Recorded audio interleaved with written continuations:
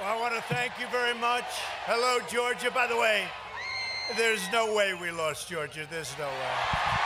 The rigged, that was a rigged election, but we're still fighting it, and you'll see what's going to happen. We'll talk about it. And uh, I just want to thank you. This is some crowd. You know, uh, Biden was here today also. They had 14 people in three cars. No, there was no way. And I just want to thank you. You know, I've had two elections. I won both of them. It's amazing. And and I actually did much better on the second one. I wouldn't do it. But I'm going to be here in a year and a half, and I'm going to be campaigning against your governor and your crazy Secretary of State. That I can tell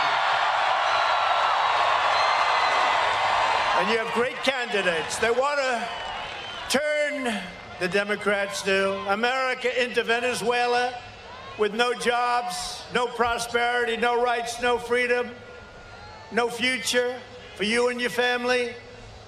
Here is exactly what the radical left will do if they win this runoff election, which we can't let them do tomorrow. Tomorrow's a big day. I guess we have to get over a million votes tomorrow, right, Kelly? Over a million. All right, that's a lot of votes, Kelly, but we'll do it. And the one thing I know, if they win, I'll get no credit. And if they lose, they're going to blame Trump, these people. And Kelly won't let that happen. Please win tomorrow. You're going to win so big, it's going to be. Great story.